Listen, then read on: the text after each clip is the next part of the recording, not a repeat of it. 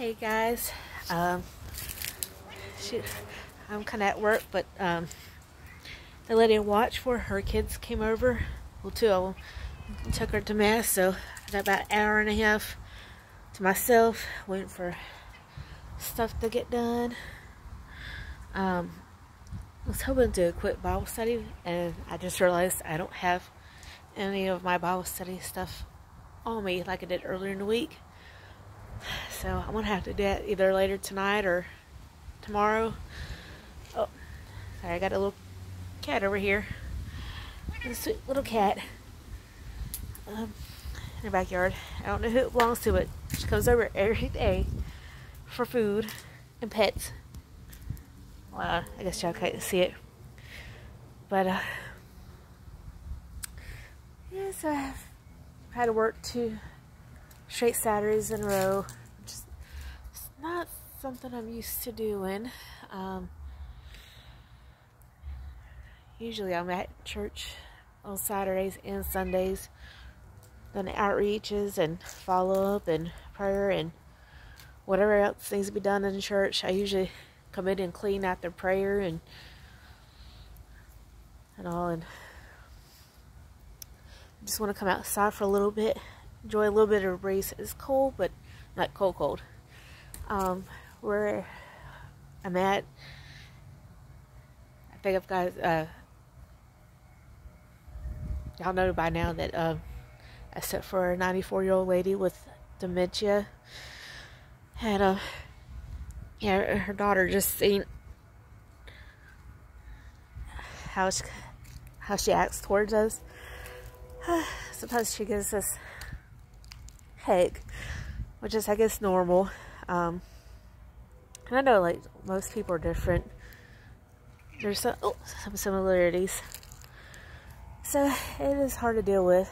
But um, I just want to enjoy the view out here too, because the backyard you can see the river from here and if y'all know any uh, people from Jacksonville like B people the um, WW Gay his property is like right behind us. His house is like two three houses down from this one but he's got property behind his. And I just realized there's a little white house like right where they had a fence. So it's a cute little property off of the river. and so today has been interesting is trying to fight her with her bath and not like fight her fire, but she just wants to give you a hard time and giving you a bath and getting a bath and kind of sucks that she lost her home health aide, her hospice care, and home hospice care.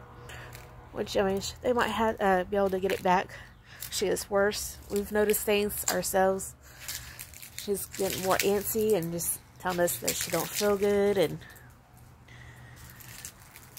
she's been wanting to sleep more. So I'm gonna try to got some laundry in the dryer, so I won't have to do that. But I'm gonna try to finish this book. I'm on chapter seven. I've been forever trying to finish it, so hopefully today I can. Um, it's a good book. Check it out. Um, it's called Awake and Alive to Truth by John L. Cooper. If you don't know him, he's the lead singer off of um, Skillet. It's one of my favorite bands. I know I don't look like I rock out, but he's he's a good godly man and a Christian and it's a good book for if you're just starting out to be a Christian or you know somebody that's you know thinking about it or just starting out to be a Christian and good for those thinking about it. It brings good truth to them and there's some people that may have been, I would say saved for a while, but that go to church but aren't really saved, born again. Um, I know some terms that some people don't really know or grasp or like know what it means. if you know, you know. It's stuff I'm gonna have to break down and define them and to help everybody to understand it. Um, it's been really good. Um, the next book I'm going to probably going to read is I have a friend named Jenny. She wrote a book about all the stuff that her husband had went through and her family and just um, they had a tragedy in their family where one night um, we had a concert at the church and we uh, their youngest son was had just entered his um, senior year. He was only 17. Hadn't even made it to his 18th birthday yet. And um, this is to be a spoiler. It's one thing I want to share. And um, there's two things, but I don't want to spoil everything. Um, I know some of it, but there's more details in the book that shares. And, um,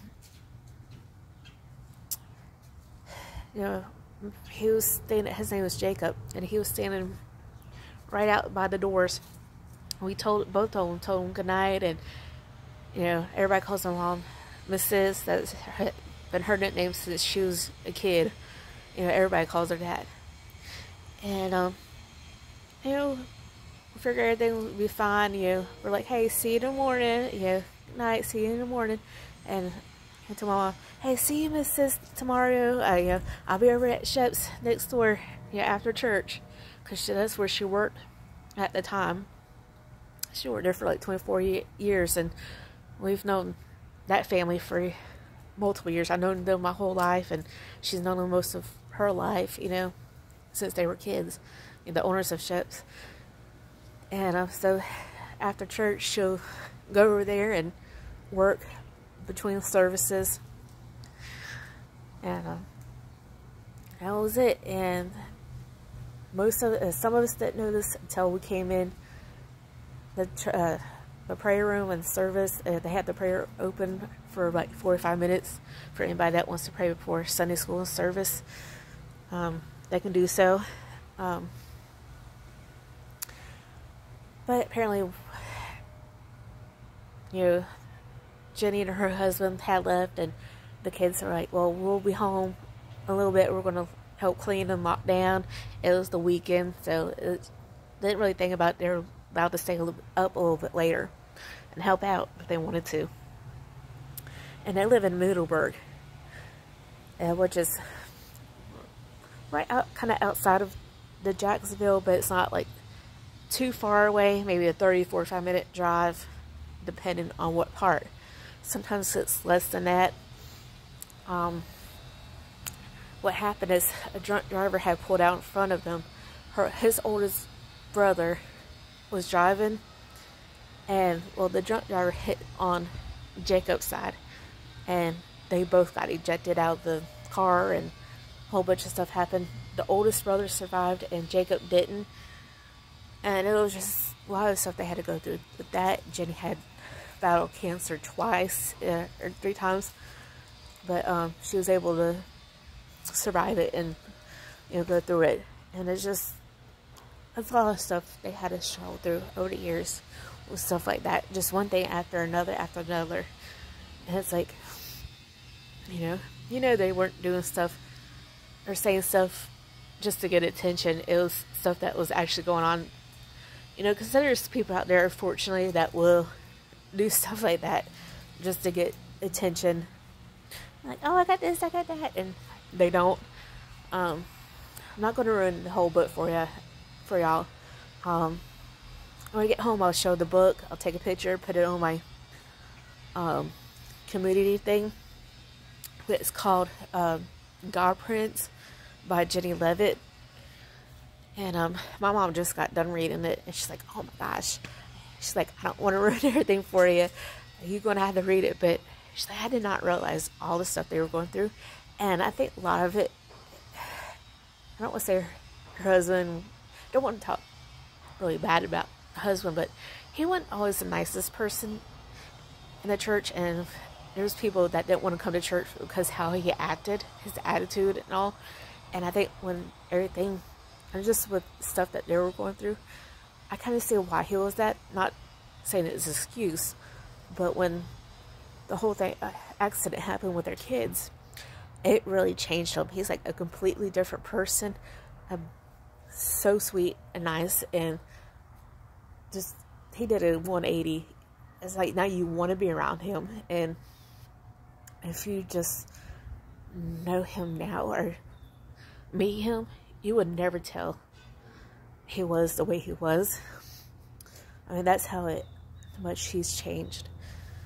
And um, I hate to say this, like, as much as I want, you know, wish that never had happened to their kids, but I feel like it almost it had to happen for things to change in him.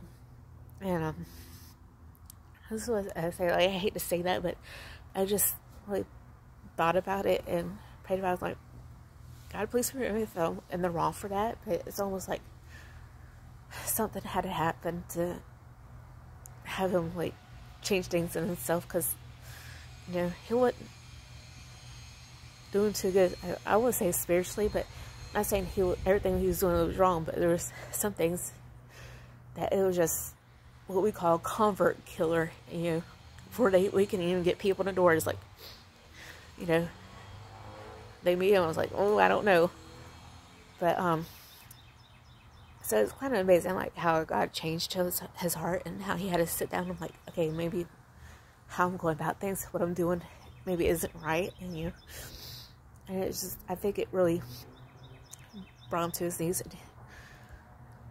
He has more of humility about him, and it's like now he's he got to the point where God can use him with his testimony. Like I said, he's changed. He's a lot nicer, better person, better attitude, and he's able to what we call launched out. We launched him out, him and his wife in Sanford, Georgia, uh, Florida. Excuse me. Is you know, we sent him out to start church, and uh, him and his wife, our pastor and pastor's wife. I know they were pastors before, and um, was it Palatka? they got brought back. I'm not sure why. Sometimes the churches don't seem to do good. No matter how good of a person you are, or how nice and you know, godly you are. Sometimes it doesn't work. Sometimes it's not the right timing. Sometimes it has to do with you know one of them.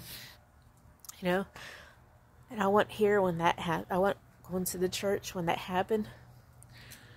So you know, they've been going there longer than I have. Um, by uh, May 16th, it'll be so, uh, not 17, 16 years for me. I've been going and rededicated my life, you know. That's something I wanted to share one day. It's my testimony. I want to write it down and like rehearse it because I know there's going to be things that I'll probably forget. And um, I just want to have a basic outline of what I do want to talk about, some bullet po- uh, points Oh, excuse me. So, um, yeah. So hopefully, um, I get off at five thirty. So hopefully I can get to bed at a decent time and maybe do a short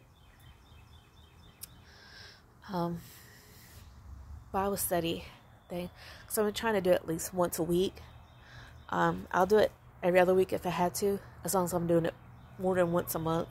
But I like to do it at least once a week, like Friday, uh, Friday or Saturday.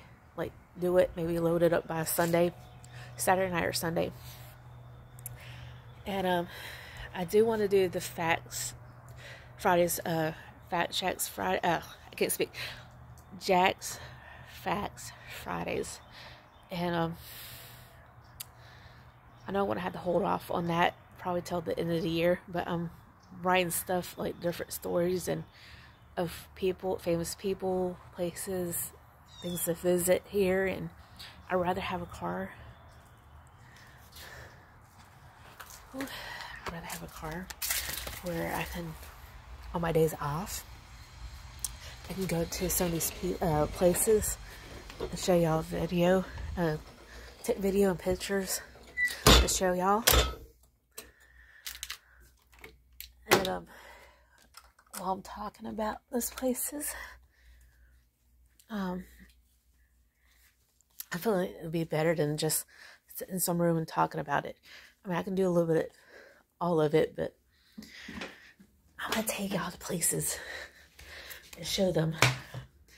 So I did a thing about Epping Forest. Um, here with um, the DuPonts built when they one of them came down. And um, I started reading on both Alfred and um, Jessie Ball DuPont. There's a couple that came down here. And I found out more stuff, even more stuff about their business ventures down here and them and that I did on when I was doing the thing on Epping Forest. Um, that was a yacht club. But um, so I'm like, oh dang, I already wrote about this stuff, so y'all might see a little different, more information on the place when I do them. I want to combine both of them, do with them as a couple in itself. Um, so I figured that'd be interesting and do a drive by, like of what the place looks like. Um, I know they don't really let a lot of people in without reservations and stuff like that. Um, when they turned it into the yacht club and um, a place for people to get married and stay the night and stuff like that, you had to make reservations. Um, for all that, the news they let the news.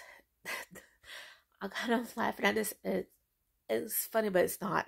Um, the news wanted to report on it, and they let the news come, but yet they wouldn't let them do any video inside or pictures or anything like that. They only um made them stand across the street and take a quick video of across the street what the front looks like. That was it, and just talk about it. They were promotional and all that. And I'm like, that ain't right. Like, if you want to advertise what you got going on, I want to see the place. It doesn't have to be everything, but come on. But they, um, if you go on their website, they have, I guess, their own people do have videos and pictures of the place, the aerial view. It's a nice little place. I mean, it's not well, not little, but it's a lot of stuff. But um so that's gonna be one of the things I wanna do. I will link you know, if you want uh want to check the place out. Um I would say yeah, I'm gonna put stuff in the uh, description box. Like websites uh, to go to to check it out. Um say oh and the resources where I got my information from. So it's gonna be that. Um, I'm gonna do one thing about Swisher. Um, the building. Um, I know there's a company that does cleaning. They go to different places, like different restaurants, and I think some stores and clean their bathrooms. I don't think that's part of them because when I did some research, it didn't say that that company was part of them, but there's the Swishers uh, where it does the King Edward cigars and now they do the Swisher sweets and stuff like that. I don't smoke, but only because my brother does. You know, I of course I don't know about it, but um, my brother's not a Christian, so you know, and I'm gonna like, I'm not gonna be all like, oh, you can't do that. I'm not gonna be, you know, push him away from you know, from God. He's got to make that choice, and you know. So he's uh, doing that. Um, let's see, I already wrote down a story about um, for. Trying to think of it. I, I keep wanting to say Dairy Queen, but it's not Dairy Queen's. Um, it's a local ice cream place that takes cash only, and it's in the Murray Hill area uh, what we call Murray Hill area. It's a neighborhood on the west side. And they have several locations. And uh, I might do one on Wits ice cream, but uh, this one's uh, oh lord, my mind went blank. But it's an ice cream place, and it's really old. It's been there since the forties. Hasn't changed anything. Or the concepts. I think the only thing that's changed is change of hands, and that's been maybe ten years ago. Um, I said that those um a little bit on the Jacksonville beach, the um Isaiah Isaiah D. Hart, and to his son too, Osinian Osin, however you say it. Um, I gotta look at the name again. I know it starts with A, uh, no O S S in it. It's a weird name, but they were governors um, and founder of Jacksonville. So we'll do that. And um I still got it right this warrior on the sun. I did one on Isaiah. And we got um the Hart Bridge, which is named after him. And um they're buried in the cemetery uh, Evergreen Cemetery, which I have family that's buried in the same area as he is. So we pass it like every time. But I want to do different things like maybe like our first mayor, you know, the history part of it, but a little fun stuff too. Um, I wish I can do like um, Adventure Landing, but the one that's closest to me is no longer there. It closed down. They demolished it rather than the owners um, sold it and they now the new owners instead of renovating it or redoing you know fixing it up and doing it better because like everybody wanted it like still around but it just needed some work they decided to do whatever i mean it is their property they can do whatever but like that's a staple of jacksonville and uh, they had one at um, the beaches. Now they're going to keep the one over in the beach. It's a lot bigger.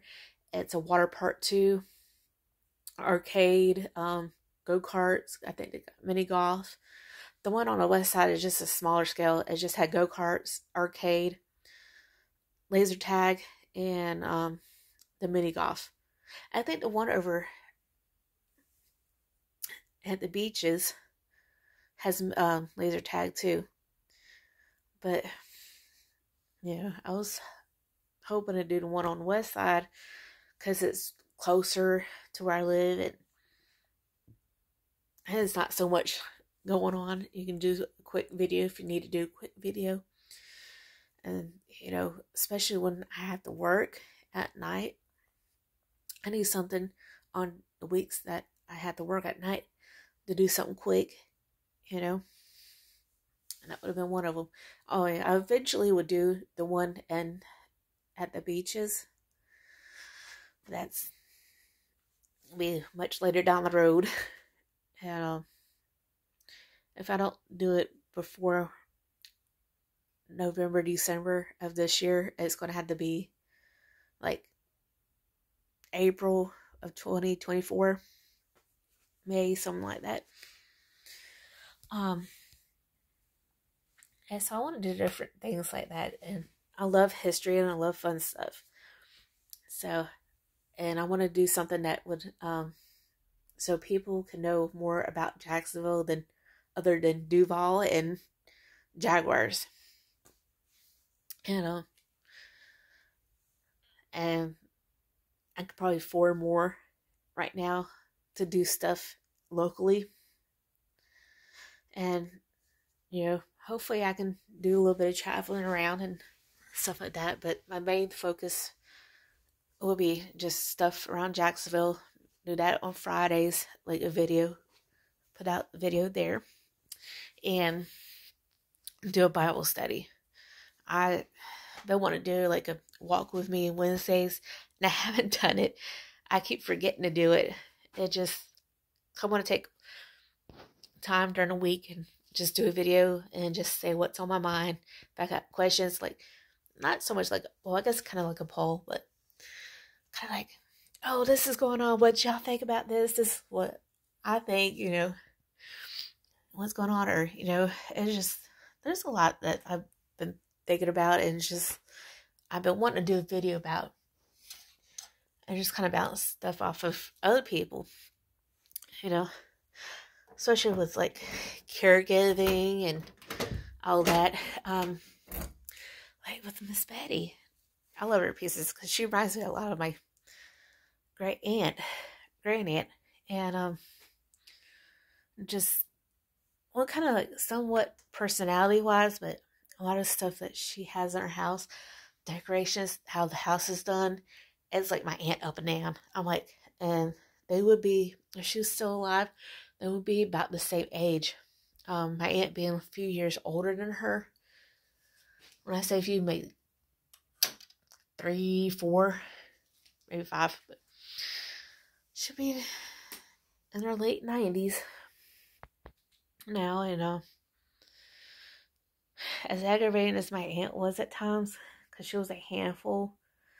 Um, she just acted like she was uppity and she wasn't really she thought she had money she did didn't. I'm not saying she didn't have money at one point, but it wasn't like she was rich, rich or anything like that. She had just had a shopping issue. um, she loved the shop, but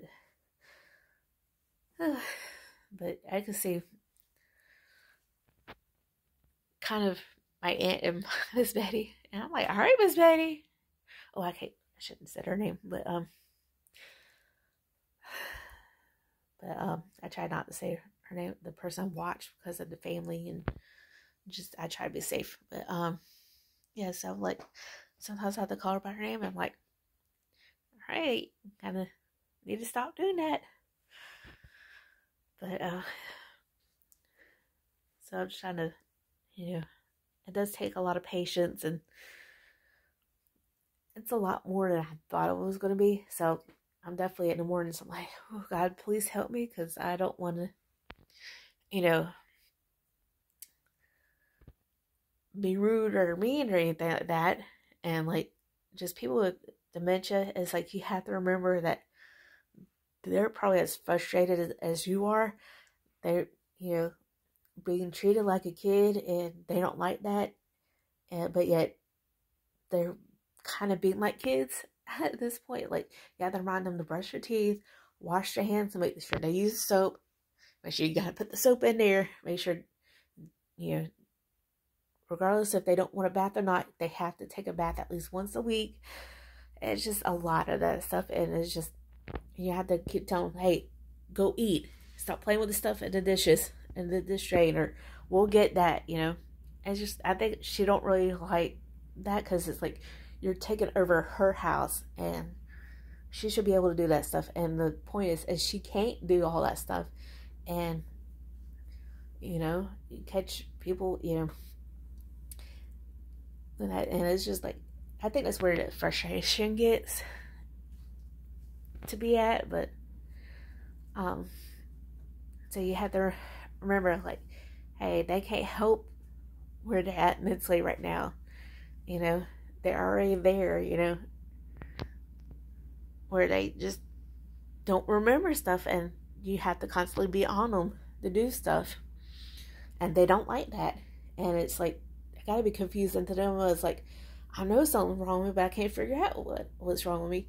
You know, I don't know why these people are in the house, why they're doing this, why they're doing that, why they're taking, over. you know, they feel like their house is being taken over. You you had to do the uh, do the dishes, cook for them. You had to do the laundry, help them with their baths, make sure their teeth are brushed, the hair's brushed, washing hair. It's sometimes a struggle getting them in the bath, and I'm kind of not used to that. Um, I've had an aunt that had Alzheimer's, and it's to me it was completely different than it is with this person, and um so it's kind of interesting like not everybody is the same but there is similarities in each one and some people someone just give you a hard time, and someone was like, "Well, okay, if if that's what you say, that's what I'm supposed to do." My aunt seemed to. I had another aunt. Um, my aunt Leslie. She was like that. She had Alzheimer's, and um, she took care of herself and was able to do that, but she just couldn't remember. You know, me, my siblings, but she'll remember my uh, mom because she's known her my mom her whole uh, my mom's whole life, and um, she her daughter worked at the convenience store two houses down. Uh, well, she's two houses down from her job, so she can work uh, walk to work, and she thought that she uh, my cousin owned a, um, the convenience store and was grabbing candy bars and all kinds of stuff and just walking out with it. Well, you couldn't they knew she had issues. So they're like, there's no sense calling cops. I was like, we know she's got Alzheimer's. She, Alzheimer's. She can't get it, you know, understand like she has to pay for that stuff that her daughter does not own the store. She is a manager. She just works there. So, but they were nice enough to like all pitch in money and just anytime she grabs something, they'll take it out of their jar or whatever they had for the money and or out of their pockets and just pay for it. And oftentimes, you know, my cousin would had to pay for that stuff, but it was it was sweet of them to do that, you know, because they didn't have to do that, but they understood the situation and knew, like, hey, she's not all there mentally that you know she's not understanding or comprehending anything, and calling the cops ain't gonna help, you know. unfortunately people don't really get that or they just don't care and they'll do it anyways and you know that leaves that person confused and not knowing and scared and not knowing what's going on and they don't know it's like they don't really know right from wrong too much you know? So yeah. So i think they handled it a good way but that's like the extent to her issues and doing stuff and yeah. So you definitely you know you get, definitely have to have patience for it. And if you're a christian it, it's probably better because you can sit there and pray god will help you with it. And there's times i'm like god you're gonna have to help me with this because you know it's getting a little too much. There's times i'm just i don't get much sleep and i'm tired and there's, there's times she don't feel good and tired and she's gets so smooth that she's just gets confused or just you can tell she's not really comprehending why stuff is going on the way it is.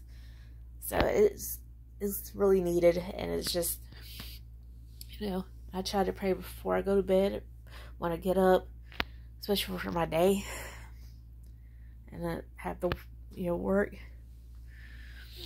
but, you know, it's something I have to get used to is working at night. I'm so used to going in Monday through Friday, you know, between 4.30 and 5.30 and getting off between 9.30 and 11.30, sometimes 12.30. Depends on what needs to be done. And just, I do the breakfast stuff, prep, make sure those things go out. You know, even take the stuff to the classrooms because I used to work in the kitchen, but I wanted, I got out of it because I felt like I really need to physically because it was getting too much for me to lift stuff.